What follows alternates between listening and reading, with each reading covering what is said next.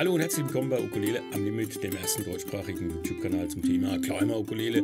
Heute geht es um die Seiten 28 und 29 aus dem zweiten Band meines Climber Lehrwerks, der da heißt Ukulele am Limit Climber für Fortgeschrittene. Dieses Video hier richtet sich an alle Leute, die den ersten Band schon durchgearbeitet haben. Dieser erste Band heißt Ukulele am Limit Einführung in die Kunst des Clawhammer. Beide Bücher kannst du kaufen, wenn du unten in der Beschreibung auf den Link drückst, der dich zum Shop auf meiner Webseite führt. Willst du mal einen Blick drauf werfen? Hier Cover von Band 2 und hier das alternative Cover von HDC Lugert, der das für mich gezeichnet hat. Sehr freundlich. Ich bedanke mich gerne und oft dafür, weil ich es wirklich toll finde. Wenn du mal reinstuppern willst in diese Kläumerei, dann drück doch mal oben hier auf diese Playlist. Da sind alle Videos, die mein Lehrwerk Band 1 begleiten. Vielleicht willst du mal reinschnuppern und dann siehst du ja, ob das was für dich ist. Und jetzt legen wir los. Es geht heute um den wirklich schönen Song Oldtime American Fiddle Music Song Cripple Creek. Standardstimmung. Und los geht's. Wir fangen in Takt 1 an. Ringfinger auf dem dritten, Bin äh, dritten Bund der ersten Seite und los geht's. Schön langsam. Kannst du mitspielen. Es ist jetzt nicht so problematisch. Wenn irgendwas sein sollte, dann melde ich mich schon und sag dir Bescheid. Bitte die Seite auch treffen, das wäre ganz schön.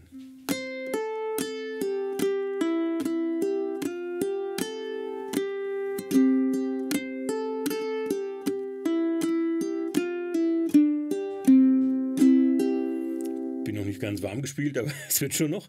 Also äh, kein Problem drin. Ich möchte dir aber mal eine kleine Besonderheit näher bringen. Was heißt eine Besonderheit? Ich möchte dich auf was hinweisen, was für uns Ukulele-Spielerinnen und Spieler sehr praktisch ist. Schau dir mal den Anfang von Takt 2 an. Das klingt so. Wir haben F, G und A. Wenn man das so ganz normal im Fingerstyle, Melodie, Daumenspiel spielen will, würde man es so spielen. Das sind dieselben Töne. Ne? F, G, A.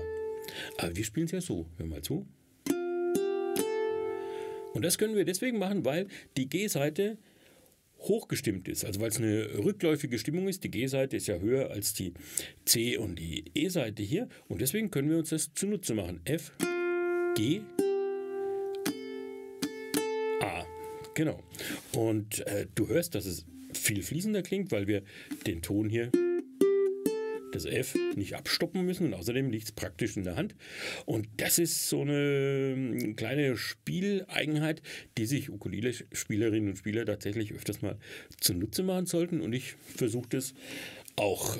Ich wollte dich nur mal darauf hinweisen, dass dir das auch bewusst wird. Also nochmal, äh, dieselbe Figur. Diesmal machen wir allerdings gleich die Wiederholung, die in Takt 5, Anfang zweite Zeile beginnt.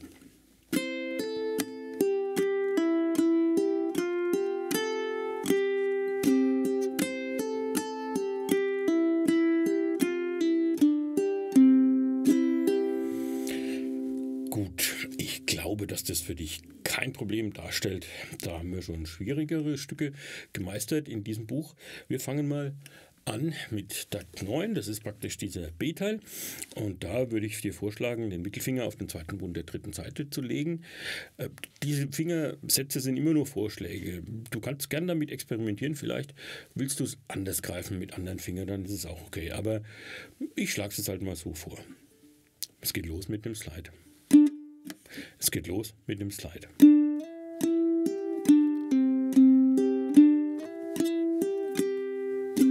Hier haben wir einen halben Barré.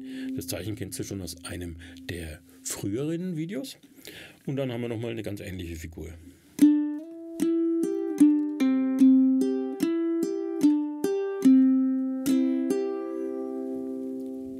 In Takt 13 geht es genauso weiter.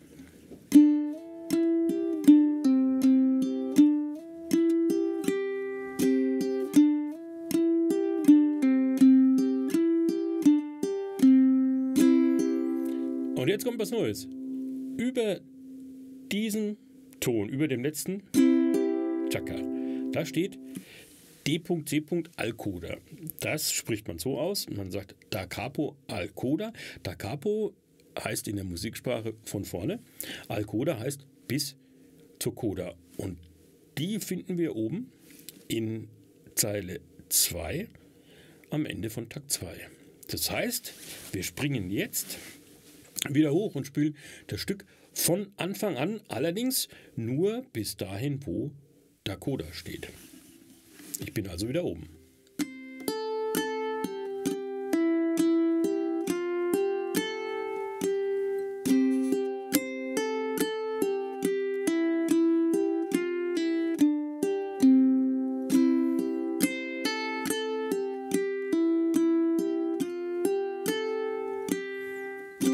So, und jetzt steht da Dakota und jetzt müssen wir die Coda suchen. Wo ist sie denn? Wo ist sie denn? Die ist unten in Takt 17. Das ist dieser Kreis mit einem Kreuz durch. Das ist die Coda und die spielen wir jetzt zum Ausklang des Stückes.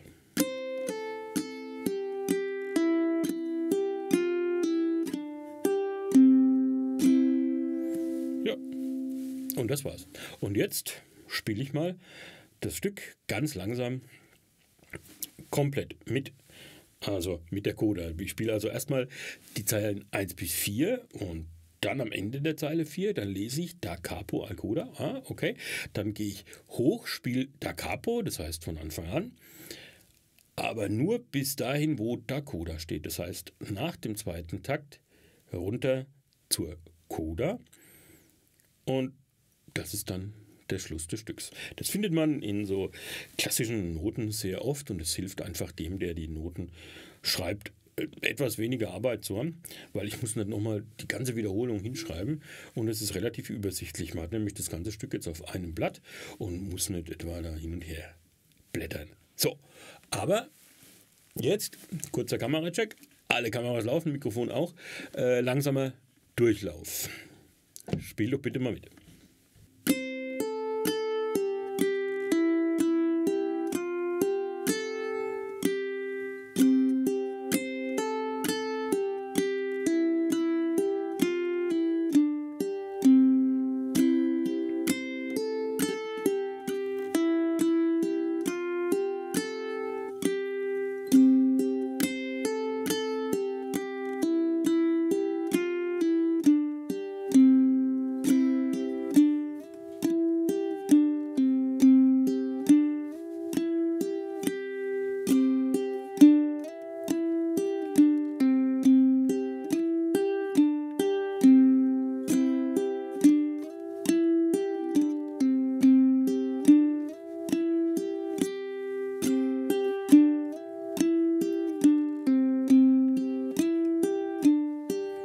Von Anfang.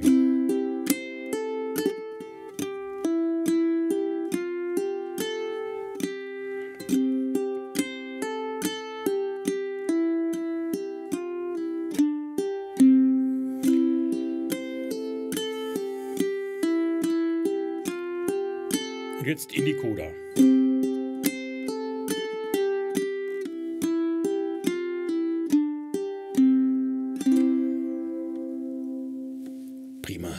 Gut gemacht und hast wieder was gelernt. Diese Da Capo Alcoda-Zeichen, die sind sehr verbreitet. Und jetzt spiele ich es einfach mal ein klein bisschen flotter und haben es für heute auch schon wieder geschafft. Drei, vier.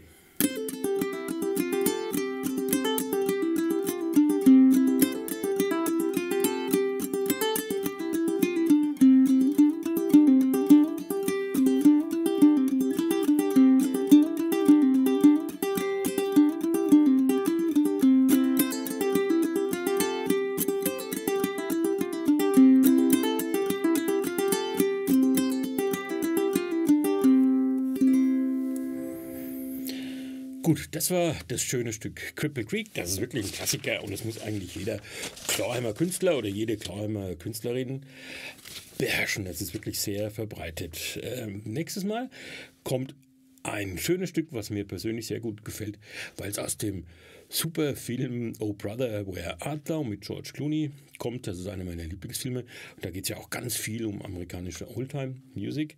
Und das Stück heißt In the Highways. Und da freue ich mich schon drauf. Hier oben kannst du hinklicken und dann geht's gleich los mit In the Highways. Bis dann, ich freue mich.